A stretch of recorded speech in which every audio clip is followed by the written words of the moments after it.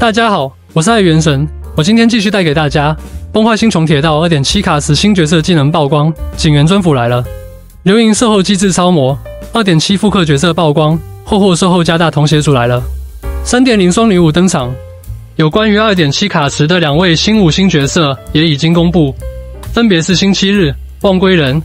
本期就后续卡池角色等相关消息，一起来看看吧。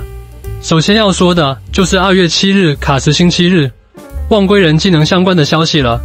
根据网传的最新消息来看，星期日定位是充能召唤辅助，作为首个限定男童鞋，星期日的强度不会低。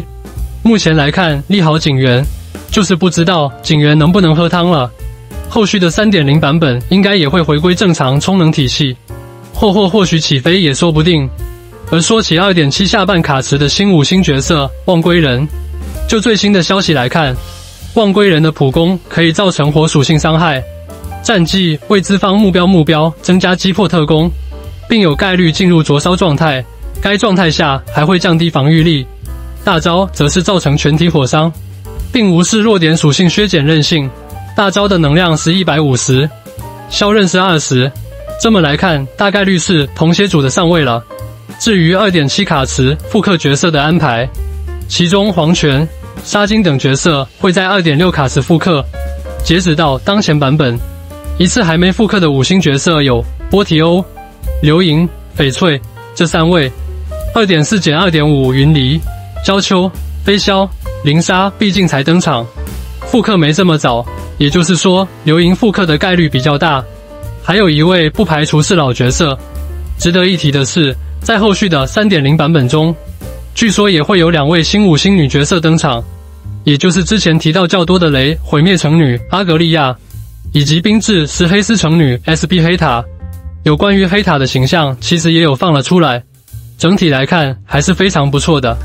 所以说，各位开拓者们是不是也都非常的期待呢？不过还是那句话，版本跨度大。随时都有变动的可能性，各位开拓者们还需理性观看哈。说起二月七日卡池新角色星期日望归人的例会，官方也已经公布。本期就后续卡池角色等相关消息，一起来看看吧。首先要说的就是二点七上半卡池即将登场的新五星角色星期日技能相关。根据网传的最新消息来看，星期日大招单体充能，加一个储存能量条，战绩是拉条。存在复制召唤物类似机制，但是基础速度很低。星期日的一魂和二魂适配多数角色，四魂和六魂可能只适配于拥有召唤的角色。六魂可以复制一个召唤物。整体来看的话，应该是一个半通用充能辅助。警员这波算是原地起飞了，这是警员专辅要来了。而说起二点七卡池的另一位新角色望归人，定位是火系虚无。就目前的消息来看。望归人终结技有无视削弱，行迹可能带残梅战触发时的机制。星魂二中在释放终结技后，可以使我方全体行动提前。简单来说，更像是另一种版本的童鞋开拓者。普攻是一尾，强化普攻是五尾。战绩可以提供增益，大招是九尾。